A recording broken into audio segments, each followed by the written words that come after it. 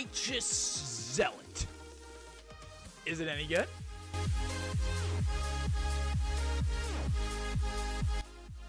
How is it going, fellow gamers? For this video, I am back on Project Ascension to try out the Righteous Zealot Legendary Enchant starting here in Northshire Abbey at level 1. But, before we get into the gameplay, allow for me to show you what the Righteous Zealot Legendary Enchant looks like. With the Righteous Zealot Legendary Enchant equipped, our damaging abilities have a chance to smite our target, dealing additional holy damage as well as healing nearby party members for a small amount. The healing and damage effects provided by Righteous Zealot will scale with the rank of our smite ability, meaning the higher rank of our smite, the more damage and healing you will do. Furthermore, the effects of this enchant are reduced by 80% in PvP, making it a PvE only enchant for the most part. To start, we're going to pick our main stat, and with this being a healing first, damage second build, we're going to go with Spirit, of course, for the time being. As for the abilities that we're going to want to draft, we will start off with Consecration, as with Emanating Light and Holy Ground, it is going to be extremely useful. Next, we grabbed Life Tap as a form of mana management as we leveled. Third, we grabbed Smite as our legendary enchant would not work without it. And lastly, we grabbed Charge so that we could use it as a means of staying with our group as you can see here on the screen. Next, we jumped right into the skill cards, first carding Holy Nova, then carding Innervate. Holy Nova is going to be an extremely important ability in the rotation we're going to be using for the Battle Priest, so carding it early is going to be extremely important. As for Innervate, this is going to be used as a form of mana management in the future, Innervate being my favorite tool for mana regen on Ascension at the moment. As for golden skill cards, as you can see, we only have four, choosing Flash Heal so that we had a guaranteed heal to draft from in the future, as well as Prayer of Healing, as Prayer of Healing will be required for the Epic Enchant Prayers of the Penitent, an enchant slash ability we will need while using this build for it to be as effective as possible. Next, we did our lucky cards, carding Penance, Earth Living Weapon, and Power Infusion. Penance is going to be required for one of the epic enchants we will be using in Prayers of the Penitent, again an enchant slash ability we will need for this build. As for Earth Living Weapon, this ability just provides for us bonus heals, something that is always appreciated. And lastly, Power Infusion, which is a cooldown we can use which increases our casting time by 20% while also reducing the mana cost of our abilities by 20%. Unfortunately, as you guys see, I had zero golden lucky cards to use, so I left that empty.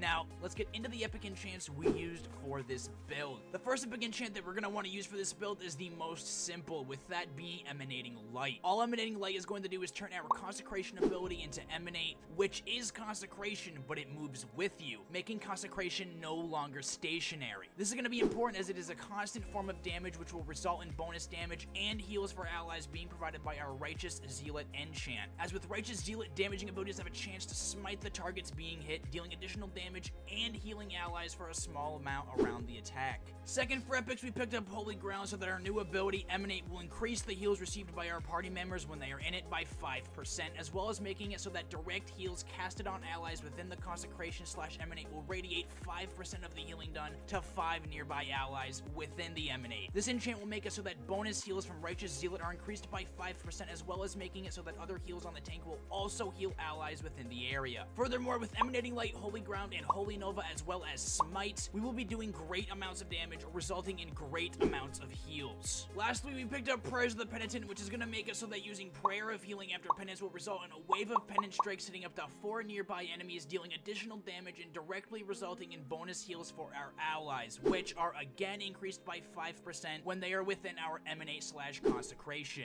As for the rare enchants with this build, I went with first Improved Life Tap times 3, which could easily be traded out assuming you were able to roll some good forms of mana management, unlike me, which was just a safety net in terms of mana management, an issue which is easily circumvented by this enchant. From my experiences, I had very little mana issues. Second for rares, I used Divine Providence times 3 as it increased the amount healed when using Circle of Healing, Greater Heal, Halo, and Prayer of Mending. Pretty lit. Third for rares, we used Fierce Mind times 3 to increase our spell power by 9% of our spirit. With our spirit being quite high, this enchant is very effective. Fourth, we used Improved Healing times 3, which made it so that the mana cost of Renew, Greater Heal, Divine Hymn, and Penance were reduced by 15%, with this enchant rounding off what I used for rare enchants. The last enchant I used was Concentrated Holy Nova, a common enchant, times 3, which reduced the mana cost of Holy Nova by 15%. This being massive as Holy Nova is 1, a great heal, and 2, an easy way to do damage and get bonus heals off with Righteous Zealots. Furthermore, with Holy Ground and Emanate, Holy Nova is always healing for 5%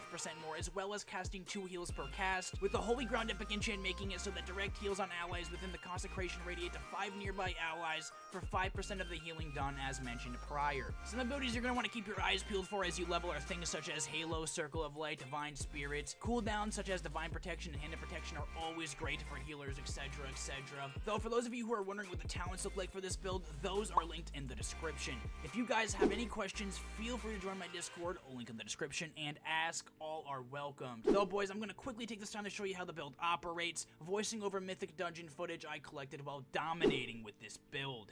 Starting off an engagement, I would usually charge in on the same target the tank does to make sure I was on him at all times, as the primary heals for this build are provided by Holy Ground, Holy Nova, Circle of Healing, Halo, with some instant cast flash heals being provided by the Surge of Light talent when needed, meaning staying on top of the party is important with this build. Other abilities such as Greater Heal, Penance, and Prayer of Healing will be woven into the rotation in engagements where allies begin to get chunked, as you will see when we jump off this bridge and start taking fat disease damage, resulting in me using Penance to heal the tank, then using Prayer of Healing to heal the party, and then damaging four nearby enemies by way of the Prayers of Penitent Epic Enchant, which then turn into a heal provided by Righteous Zealot. When engaging in AoE combat, be sure to use Circle of Healing on cooldown, as well as making sure your Consecration ability is always up, as it is extra damage and heals at all times. As for single target engagements, your job becomes much different, assuming you have a halfway decent tank, that is. In single target engagements, you keep the tank up using Greater Heal and Flash Heal while spamming Smite the enemy. While spamming Smite, you are healing your allies as well as helping progress towards the end of the dungeon. If your tank has a hard time holding aggro, there isn't much of a reason to stray away from your AoE rotation of spamming Holy Nova, Circle of Healing, and Consecration,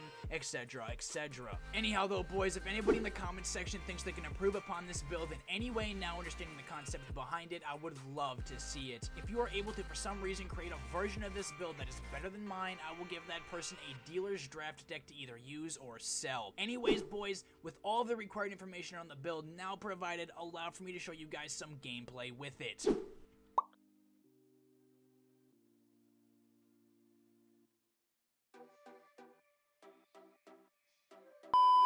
Ladies and gentlemen, allow for me to introduce you to the greatest healing build that has ever graced Ascension. Okay, maybe maybe it isn't that great. Okay, maybe it isn't that great. Not only is it great heals, though, it is also great DPS, which makes it one of the greatest hybrids known to man. Okay, maybe I'm exaggerating just a little bit. I don't have anything else to do while I wait for a fucking dungeon queue. 2,000 years later. Boys, we finally got a dungeon queue. Oh my god, thank you. So boys, for our first dungeon, the team is Leo, Null, Troll, Shadow, Fang, Only Demon, and then, you know, the man, the myth, the legend, QJC. It's how it is. It's how it'll always be. I mean, it depends on actually what character I'm using. I'm using QJC. It just so happens. So it, it's QJC right now. It might be Blondebelly next video. Who knows? You know what I mean? God. You know, all I do know is that my heals are absolutely supreme. I'm to hit this guy with a penance, and then I'm to hit Mr. Null Troll with a prayer of healing, resulting in absolutely nothing because nobody's alive because my team is so fantastic. The damage is insurmountable. Oh, boys, we're already halfway through this dungeon, so you know what that means. I'm gonna have to wait a half an hour for another dungeon. I'm excited for that one.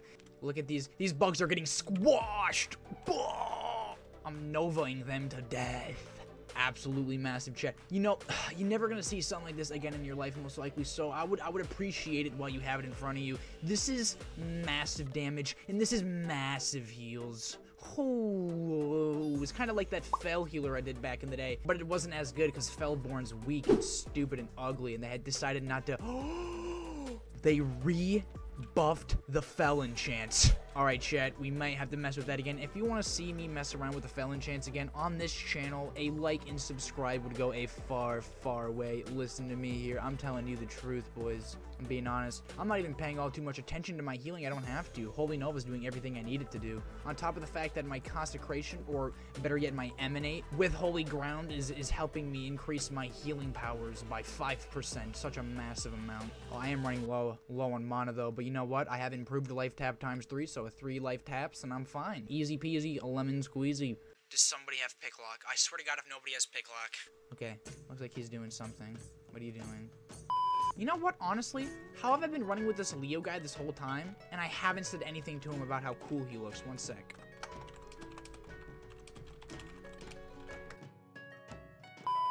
As a result of me saying that to him, I'm way, way, way behind the pack, but it is okay. We will catch up. Everything will be fine as they go ahead and pull the boss. I swear to God, if something bad happens, you cannot blame it on me. I'm charging in, casting my Circle of Heal. Should have popped my Consecration first since that's just a 5% increased heal. Why wouldn't you do that? Spam in Holy Nova, Divine Swarm in it, hit him with a Penance, pop a Prayer of Healing. I got one Penance out since there's only one enemy target, but that's fine. Prayer of the Penitent's more of an AoE thing. Anyhow, boys, I am going to go ahead and end the video there within the greatest cheese shop in all of Stormwind, Trias' Cheese. After messing around with Righteous Zealot, I can definitely say this enchant is better than good. It is quite good, possibly even mythical status as of right now. That is until it gets nerfed. Nonetheless, if you had a laugh or learned something new, a like and comment are greatly appreciated. No pressure, of course. Have a great one, boys. I appreciate you.